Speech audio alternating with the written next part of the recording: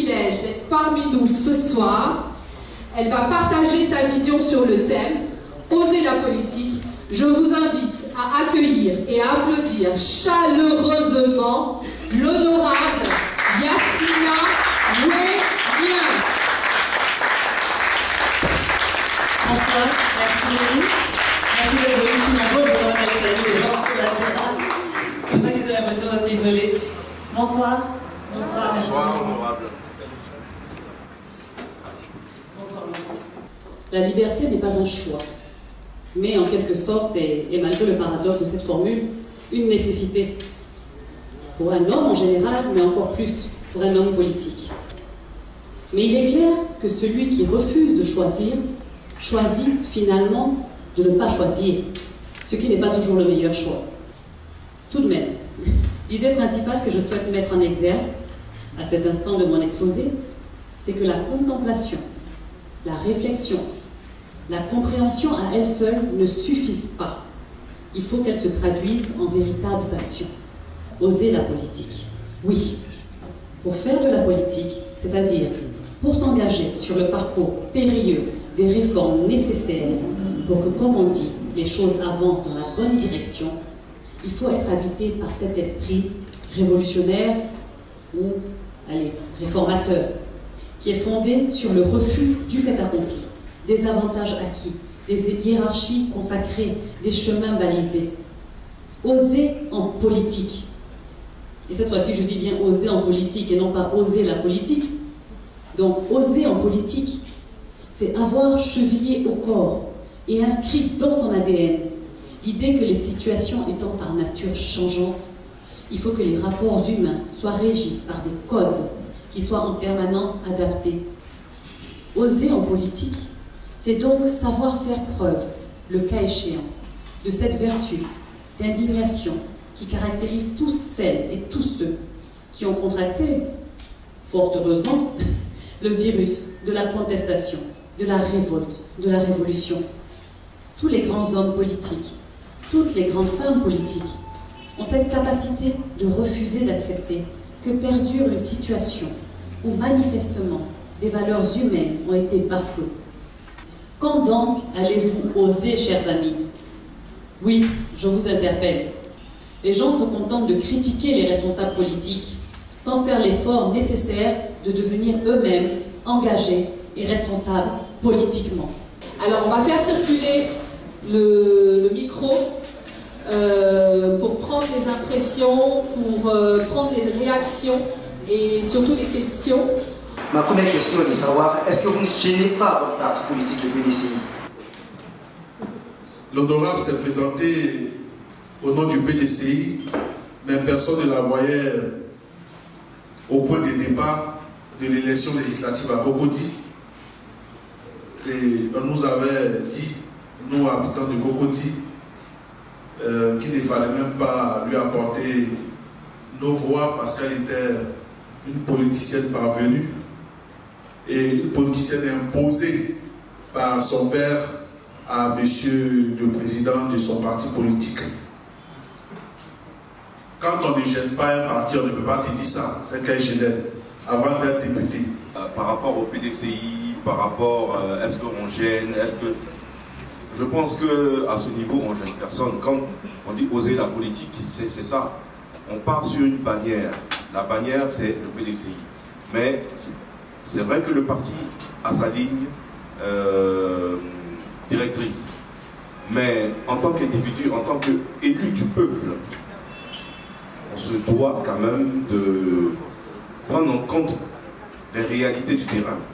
Malheureusement, chez nous, nos partis politiques ne fonctionnent pas ainsi. Vous êtes au RDR, tout ce que dit le président, vous devez l'accepter. Vous êtes au PDCI, tout ce que dit le président, vous devez l'accepter. Le parti, qu'on le retient une fois pour toutes, ce n'est pas le président du parti. Ce sont les militants et les structures du parti. Est-ce que les hommes politiques eux-mêmes sont prêts à écouter les citoyens? Ils ont le devoir d'écouter les citoyens. Moi, personnellement, je suis, euh, j'ai presque envie de dire la marionnette du peuple de Cocody. Je suis là pour eux, je suis là grâce à eux, je suis là avec eux. Donc oui, les, politiciens sont censés écouter leurs citoyens. En tout cas, les politiciens, ils savent pourquoi ils se sont engagés. S'ils se sont engagés que pour eux, pour leurs intérêts personnels, bon, effectivement, ils n'ont besoin que de s'écouter eux-mêmes. Mais quand l'engagement est vraiment pur et quand l'engagement est sincère et qu'on a, cette volonté de faire bouger les, choses et de travailler pour les autres, euh, il faut commencer par, les écouter parce que si on ne sait pas ce, dont les autres ont besoin, euh, on n'arrivera jamais à les satisfaire.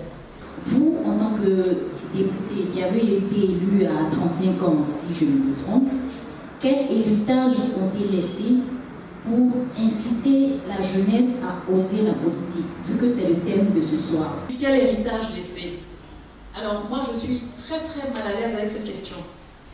Parce que quel est l'héritage laissé alors ça me rappelle tout ce que je n'aime pas, c'est-à-dire le culte de la personnalité, les, engagements qui sont faits en fait pour, des besoins d'ego, pour des, besoins de reconnaissance personnelle. Moi personnellement, à la limite, si je laisse l'Assemblée nationale dans un meilleur état, j'en serais contente. Si je laisse Cocody dans un meilleur état, j'en serais contente. Mais je ne me dirais pas, ah ça y est, j'ai fait ma part, je suis trop bien, je suis trop accomplie, je suis trop la plus forte parce que j'ai laissé quelque chose. Non.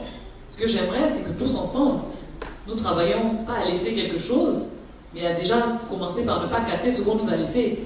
Et, pour l'instant, hélas, nous sommes loin du compte. Parce que depuis 20 ans, nous vivons sur nos restes, nous vivons sur nos anciennes fondations, euh, la plupart détruites. Moi, par exemple, j'ai fait l'école à, à, à à l'INSET. Donc, quand aujourd'hui, je vois dans quelle ruine se trouve l'INSET, je me dis effectivement, je n'ai laissé aucun héritage puisque j'ai hérité de l'INSET. Moi et toutes ces personnes qui ont été étudiantes à l'INSET, nous avons été les héritiers de l'INSET. Mais qu'est-ce que nous faisons aujourd'hui pour que nos enfants, moi ma fille aujourd'hui a 6 ans, qu'est-ce que je fais pour que dans 10 ans, elle puisse être dans l'INSET et avoir cette même formation de qualité, cette formation élitiste qui m'a permis d'être là aujourd'hui? C'est ça en fait mon combat. Moi, mon combat, c'est un combat pour demain. C'est un combat pour après-demain. C'est pas, pas forcément un combat pour moi et pour avoir la satisfaction qu'ensuite j'aurais laissé quelque chose. Il faudrait quand même qu'il y ait quelque chose à laisser. Mais ça ne me gêne pas si c'est pas moi qui le laisse. Est-ce que les jeunes véritablement qui n'ont pas d'attache politique peuvent oser la politique? Pendant qu'ils n'ont pas véritablement de soutien d'un groupe ou un groupement bien connu Pour les jeunes, c'est un peu plus simple. Euh, surtout pour les jeunes hommes, parce que déjà ils n'ont pas le problème d'être des jeunes femmes. Donc, voilà, mais c'est un peu ça. Mais il faut, c'est-à-dire qu'en fait, il faut se dire, euh, et, pour ça je prends l'exemple du président Oufoué. Le président Oufoué croyait en sa jeunesse. Quand il prenait le pouvoir euh, au moment des indépendances, c'est pas qu'il n'y avait pas des personnes de 60 ans en Côte d'Ivoire. C'est qu'il avait envie que des personnes de 28 ans, de 35 ans, de 42 ans, etc., puissent faire leurs preuves. Donc il faudrait effectivement qu'il y ait une volonté politique, mais aussi citoyenne et partisane, de laisser la jeunesse émerger. Est-ce que ça c'est pas plus ici en Afrique, c'est plus facile d'être fils d'eux pour pouvoir faire la politique, avoir peut-être beaucoup plus de moyens? Est-ce que ça n'aide pas surtout?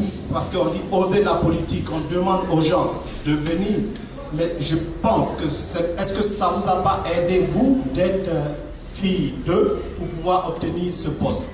Euh, Quand le président Fouet Boigny entrait en politique, il n'était pas l'enfant de quelqu'un. Quand Philippe Grégoire Yassé rentrait en politique, il n'était pas l'enfant de quelqu'un. On n'a pas besoin, mais alors on n'a absolument pas besoin d'être l'enfant de quelqu'un pour être conscient de la souffrance de ses, proches, de ses populations, pour avoir envie de servir son pays, pour avoir l'amour de la nation, on n'a pas besoin d'être enfant de quelqu'un, on a juste besoin d'être l'enfant du pays. Parce que parfois, effectivement, être l'enfant de quelqu'un dessert plus qu'il ne sert. Il y a des personnes qui ont eu l'investiture du PDCI. Je vais prendre le cas d'un ami à moi, un ami très proche, dont le père est un baron du PDCI, parmi les vice-présidents, il est même vice-président, je crois, du conseil de discipline. Et ce jeune homme que je connais depuis 2000 et avec qui j'entretiens de très très très bons rapports, est très proche de la délégation de son papa, parce que son papa était délégué PDCI. Il est au village tout le temps. il est proche des populations, il est, il est quasiment le, jumeau, comme on dirait peut-être le porte-canne même de son papa. Il n'y a pas une réunion où son père est, il n'est pas. Il a eu l'investiture du PDCI. Il a été le candidat aux législatives pour le PDCI et il était l'enfant de son père. Mais il n'a pas gagné. Et puis il y a des personnes qui se sont présentées en indépendant et qui ont gagné. Ça veut dire deux choses. Ça veut dire que d'abord, l'investiture du parti ne fait pas tout. Parce que parfois on peut l'avoir et ne pas gagner. Tout comme on peut ne pas l'avoir et gagner. Mais que surtout être l'enfant de quelqu'un ne fait pas tout. Maintenant, peut-être qu'être jeune, être en même temps une femme, être en même temps deux cocodis, être en même temps investi par le parti et être aussi l'enfant de quelqu'un, fait un tout. Donc effectivement, il y a eu des circonstances exceptionnelles ou favorables. Mais je pense qu'en fait, on n'a pas de chance en fait, on crée sa propre chance. Il y aurait eu toutes ces circonstances favorables, et puis il n'y aurait pas eu mon envie de me présenter, que je n'aurais pas été élu. Donc voilà un peu ce que je voulais dire. Nous sommes tous témoins de ce qui se passe dans nos pays africains surtout, et on a tous envie de réagir d'une manière ou d'une autre. Mais il y a souvent cette peur qui nous anime, et surtout quand on est une femme, comment on fait face à, à certaines réactions, certaines menaces, et, vu aussi les discriminations auxquelles les femmes font face, comment en tant que femme justement pouvoir oser la politique? Il ne faut pas se réfugier derrière la peur. On aura toujours peur de quelque chose. Et c'est sur ça que les gens comptent. Ils comptent sur le fait qu'on aura peur. Mais le peuple a plus de pouvoir qu'il le pense. Chacun d'entre vous a plus de pouvoir qu'il le pense. Voilà. Aujourd'hui, on se retrouve à Meet and Greet. Meet and Greet dont le slogan c'est Oser rêver grand. Aujourd'hui, on a parlé de osons, et, enfin, oser la politique qui va devenir maintenant osons la politique. Vraiment, merci de vous être prêté au jeu. Merci.